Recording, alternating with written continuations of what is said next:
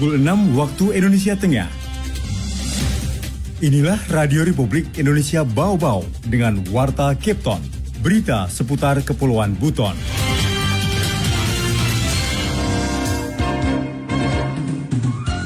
Ya kita nggak nggak mungkin mengganggu layanan penerbangan, jadi penerbangan tetap berjalan seperti biasa.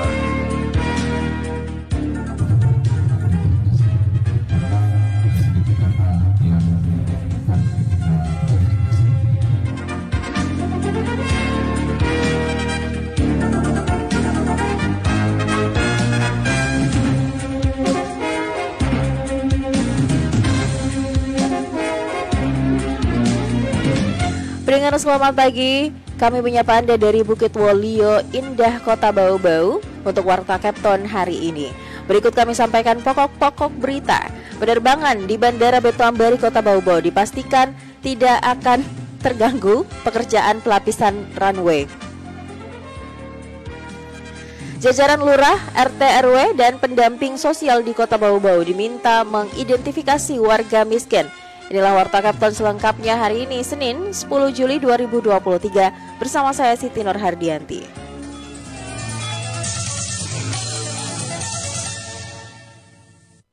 Berita yang pertama, Layanan penerbangan di Bandara Beto Ambari, Kota Bau-Bau dipastikan tidak akan terganggu selama pekerjaan pelapisan runway di bandara tersebut. Mengenai hal itu, Afriansyah melaporkan. Ya kita nggak nggak mungkin mengganggu layanan penerbangan. Jadi penerbangan tetap berjalan seperti biasa. Kantor unit penyelenggara Bandar Udara UPBU Betuambari Bau-Bau memastikan layanan penerbangan tidak akan terganggu selama pekerjaan pelapisan runway atau landasan pacu di bandara tersebut. Kepala UPBU Betuambari Bau-Bau Tarman mengatakan penerbangan di Bandara Betuambari dari dan tujuan Makassar, Sulawesi Selatan dan Kota Kendari Layanan penerbangan hanya sampai sore hari sehingga Tarman memastikan selama pekerjaan pelapisan runway, layanan penerbangan di Bandara Betuambari tetap berjalan. Teknis pelaksanaannya itu nanti malam hari pada saat tidak ada penerbangan. Jadi kita kan tidak mungkin mengganggu penerbangan. Jadi pelaksanaannya itu malam hari, jadi selesai pesawat terakhir yang jam 5 sore baru persiapan masuk lokasi. Nah, nanti jam 5 subuh harus keluar juga dari lokasi, harus bersih semua lokasi itu nanti. Ya kita nggak nggak mungkin mengganggu layanan penerbangan, jadi penerbangan tetap berjalan seperti biasa. Dikatakan Tarman, pelapisan runway Bandara Betuambari dilakukan seluruhnya, yaitu sepanjang 1.800 meter dan lebar 30 meter.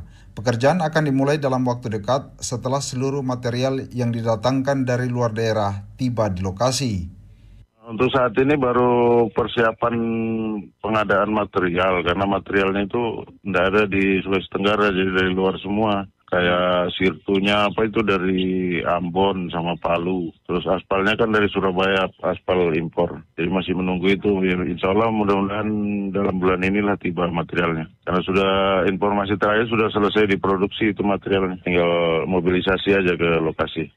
Tarman mengatakan pekerjaan pelapisan tersebut karena kondisi material aspal runway sudah banyak yang terlepas. Di samping itu, sesuai persyaratan teknis, aspal runway bandara maksimal lima tahun sudah harus dilakukan pelapisan. Terakhir, pelapisan runway Bandara Betuambari tahun 2019 lalu.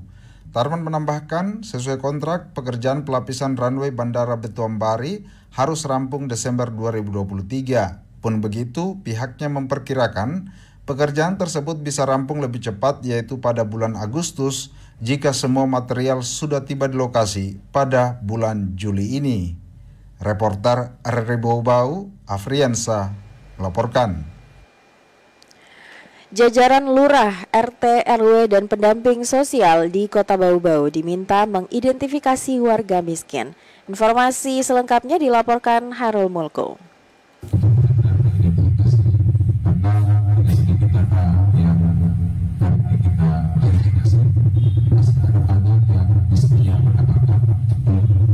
Wali Kota Bau-Bau, Laude Ahmad Monianse, meminta jajaran lurah, RT RW, dan pendamping sosial untuk benar-benar melakukan identifikasi terhadap warga miskin. Hal ini diungkapkan Wali Kota dengan tujuan agar data warga miskin di Kota Bau-Bau dapat diketahui secara valid dan diusulkan sebagai penerima bantuan dari pemerintah. Meski demikian, Ahmad Monianse menegaskan pengidentifikasian tersebut tertuju pada warga yang benar-benar tidak mampu atau kemiskinan ekstrim bukan berdasarkan faktor kedekatan.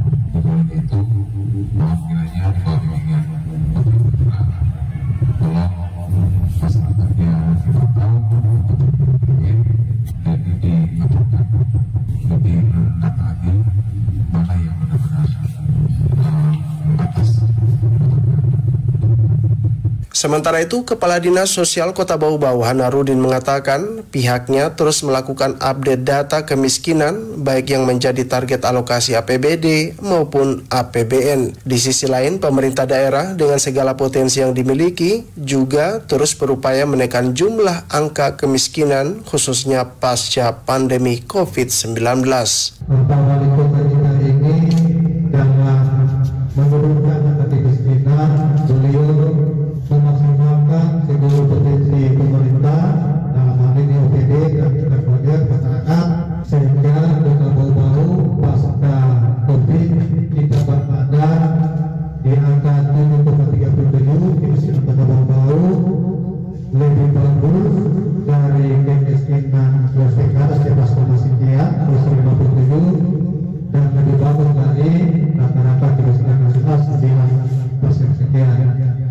Untuk diketahui, saat ini Dinas Sosial tengah melakukan penyaluran bantuan sembako kepada masyarakat terlantar di luar panti sosial yang tersebar di seluruh kecamatan. Para penerimanya pun dipastikan di luar penerima bantuan rutin pemerintah, baik pusat maupun daerah. Reporter RRI Bau-Bau, Herul Mulku, melaporkan.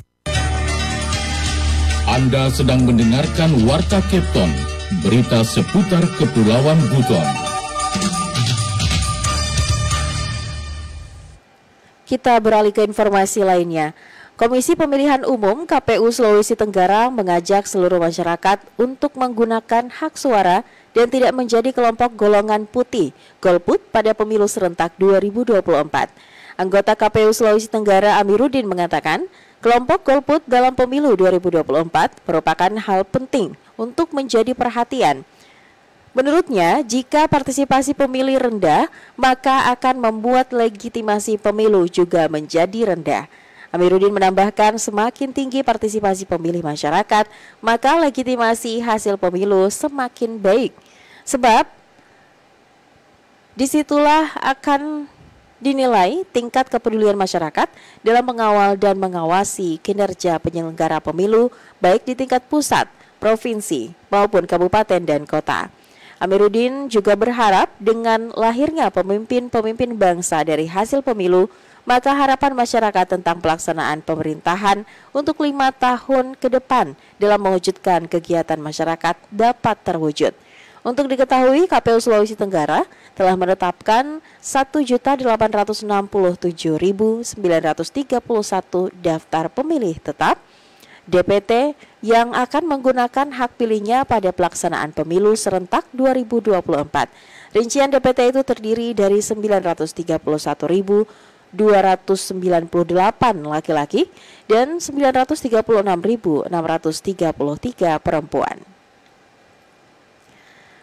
Berita yang terakhir, wujudkan sistem pelayanan berintegritas dan bersih melayani Lokapom Bau-Bau upayakan tahun ini peroleh sertifikasi sistem manajemen mutu anti penyuapan. Selengkapnya reporter RRI Bau-Bau Ode Nurliani melaporkan.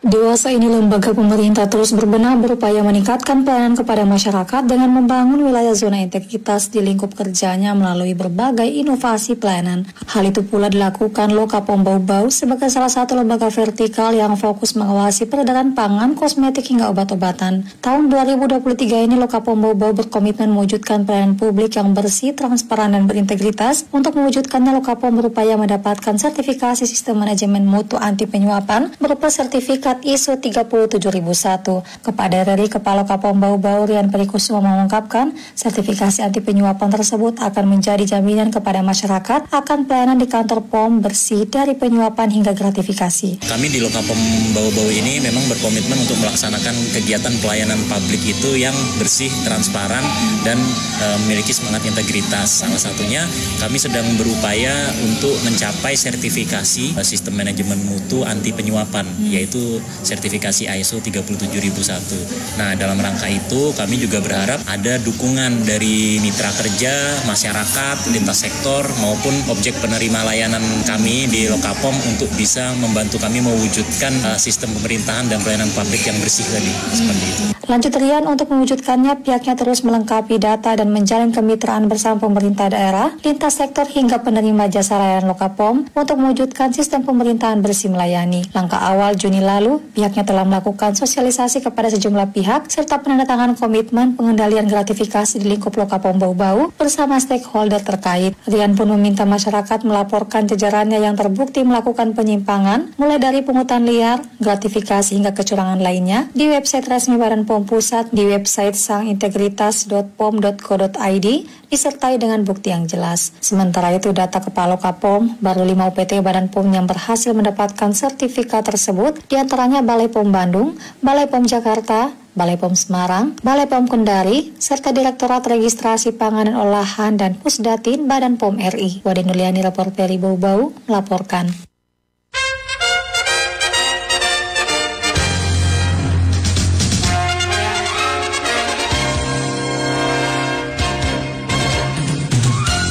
Pendengar sebelum kami akhiri Warta Kapten pagi ini kembali kami sampaikan pokok-pokok berita.